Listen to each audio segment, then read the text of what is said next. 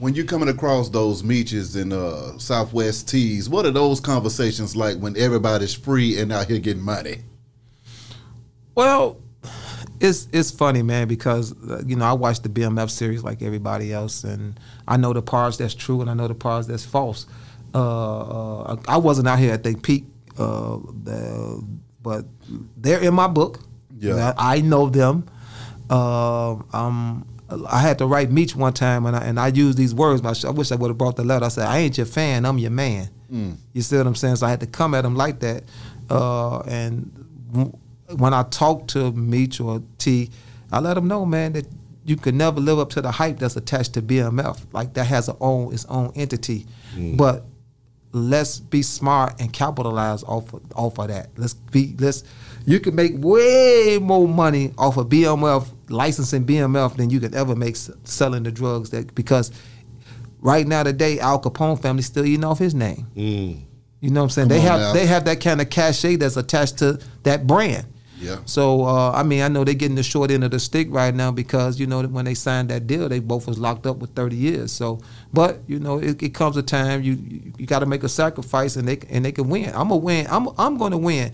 Uh, I was just had a conversation the other day. They, somebody was about getting my record expunged. I said I really don't want it expunged because it validates who I am. Like people need to see that and believe to see where I came from, to, to know that hey, like if I don't, I'm on, I'm on, I'm, I'm the vice president of business development for this this uh, this company, this corporation, right?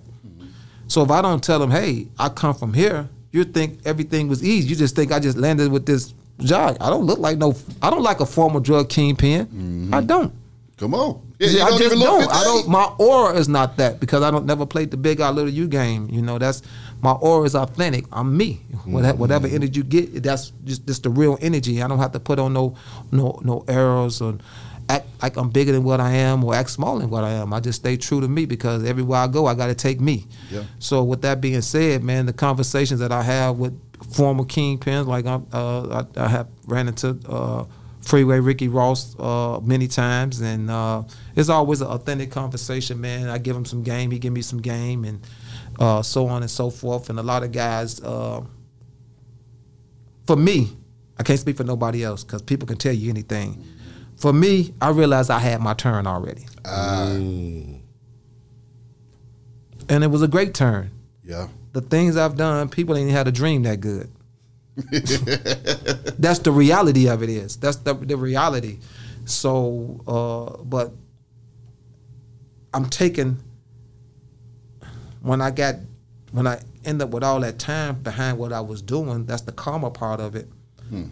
I'm taking a bad hand. I'm playing it good because in society they want to ostracize me and label me uh, a felon, but they don't know I'm making way more money as a felon than you making without being a felon. Cause I'm getting money. I'm still the plug. Listen, I'm still the plug.